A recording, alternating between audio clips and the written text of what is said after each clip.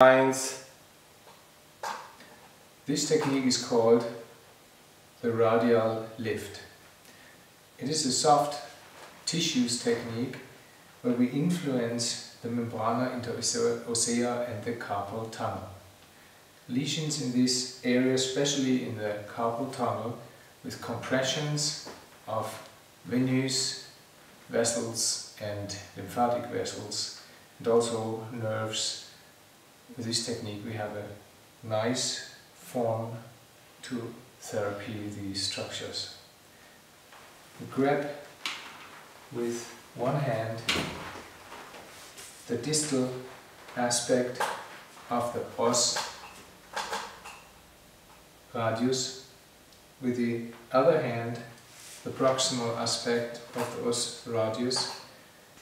The patient is asked to relax his forearm totally, so the gravity of his forearm we hold with our thumbs and middle fingers on both hands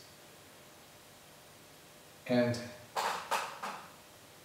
with the gravity we have a stretch on the membrana interossea and an opening in the carpal tunnel.